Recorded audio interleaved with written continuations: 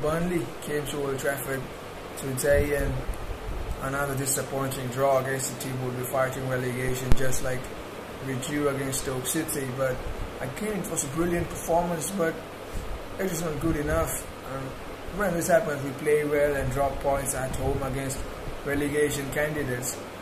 Some problem, it can't happen twice, twice. We're playing well and dropping points. There, there is some problem in there. We definitely can't win the title if we draw against teams like Burnley, Stoke City at home. If even top four, it's difficult. It's very difficult because Liverpool are winning, Arsenal are winning, City are winning, and Tottenham are drop points against against champions. So okay, they drop points, but still a big valuable one point for them. But we are dropping points at home against relegation candidates, and that's that's that is going to hurt us at the end of the season. But credit where it's due. Tom Heaton was absolutely unbelievable today.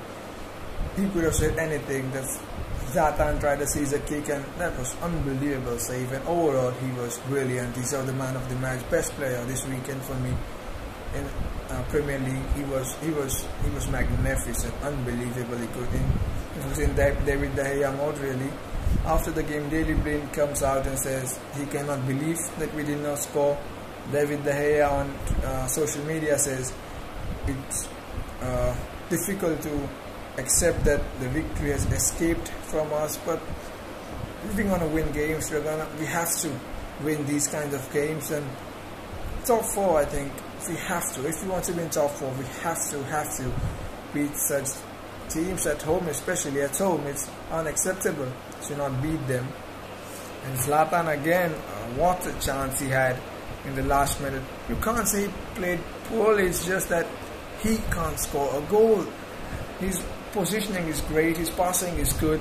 His movement is decent. He's lost the pace, and that's that is having an adverse effect. But overall, his positioning is good. Last minute Pogba crosses, and he had he would have scored that every time, and he, he can't hit the target at the moment, and that's that is very very difficult for us. He has to score if we're going to any chance of top four or winning the league. Winning the league now is okay. It's, it's very difficult, but top four he has to get back to form, and when he's not in form.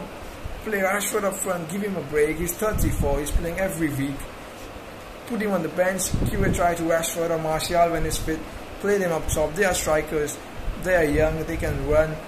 They use something different to Zlatan. You have to put the ball to him and he chest and controls and we build from there. But you can put the ball over defenders when you have runners like Martial, Rashford and try something new because this is very predictable and we are just not clicking with Zlatan in the team and he has to find his form as soon as possible if we have any any chance of winning against big teams like Arsenal, Tottenham coming up next.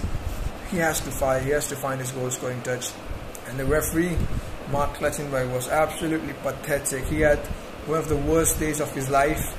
He was he was very inconsistent with this decision. However, I think first yellow card, it's hardly a yellow card.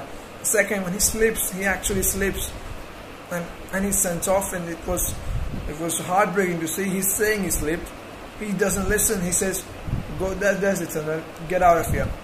At least listen. He, and he clearly slipped and was so unlucky. Ander Herrera. He was brilliant the whole season. Now he's gonna miss next games, next crucial games for us, and that is gonna be very difficult for us now.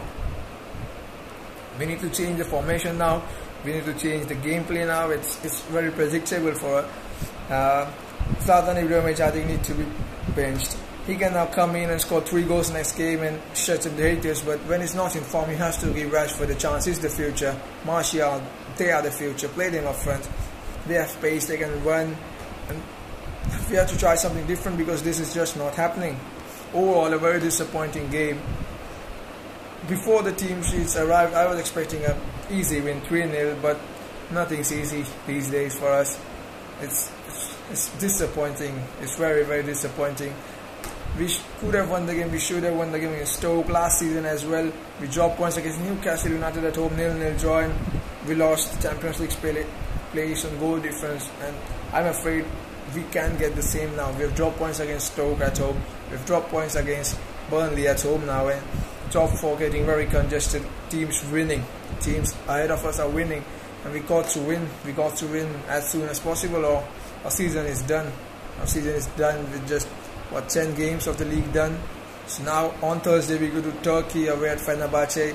Then on Sunday away to Swansea. So there is lots of traveling and I hope Memphis gets a chance in Europa League because qualification is almost almost done. So against Swansea we have to win. It's a must win for us and then there's international break.